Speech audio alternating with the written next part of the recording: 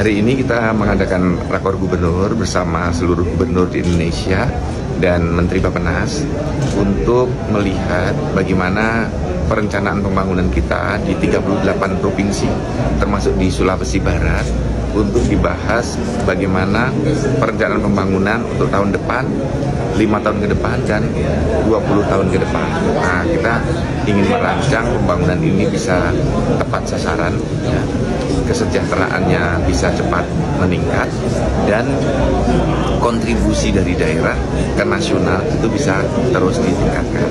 Termasuk tadi Sulawesi Barat diminta memaparkan langkah-langkah untuk penanganan stunting. Kemudian DKI untuk pemukiman, Bangka Belitung permukiman, kemudian dari Papua Tengah, ya kemudian Papua Barat, Jawa Timur dan beberapa provinsi sebagai sampling untuk memaparkan progres-progres terhadap penyelesaian masalah-masalah mendasar. Dan kita paparkan semua langkah-langkah yang sudah kita lakukan. Ya tentu kita berharap perencanaan pembangunan yang disusun oleh Bappenas secara nasional nanti akan berdampak positif untuk pembangunan di Sulawesi Barat.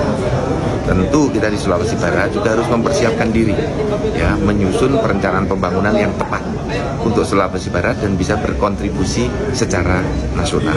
Ya, ini membutuhkan kolaborasi pemikiran, ya kemudian langkah-langkah kerja bersama-sama enam kabupaten bersama provinsi. Kita harus bekerja bersama-sama karena perencanaan yang baik itu sudah menyelesaikan separuh dari permasalahan.